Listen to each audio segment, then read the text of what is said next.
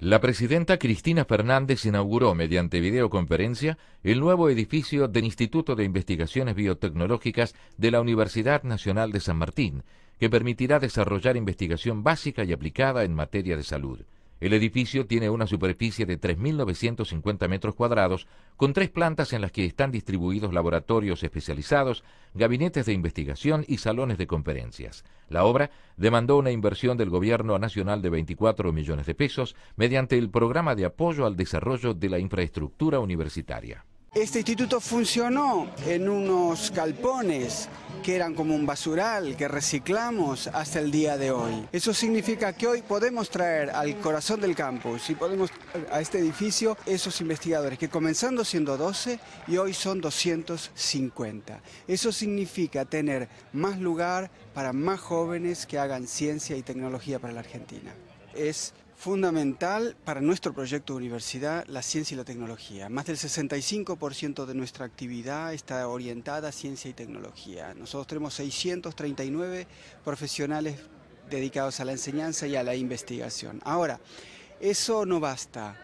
Es necesario el diálogo con las ciencias sociales, es necesario el diálogo con la filosofía, con la bioética, para poder tomar conciencia de lo que estamos haciendo, de las consecuencias sociales, éticas y políticas para poder hacer ciencia correctamente al servicio de las necesidades de nuestro pueblo. El camino es el que ustedes han emprendido y yo lo escuchaba recién a, la presidenta y, ustedes lo saben muy bien, eh, la escuchamos todo, la vocación y el compromiso casi obsesivo de, apuntar, de apuntalar la educación, la educación superior y fundamentalmente el desarrollo de nuestros científicos y de todos aquellos que hacen todo para engrandecer esta patria. Estuve tres años y medio, estuvimos con mi familia fuera en, Estados Unidos, en, en New Haven, en la Universidad de Yale y eh, en el 2000, mediados del 2007 volvimos al país y estamos desde, desde, ese, momento acá en el instituto eh, empujando estos proyectos.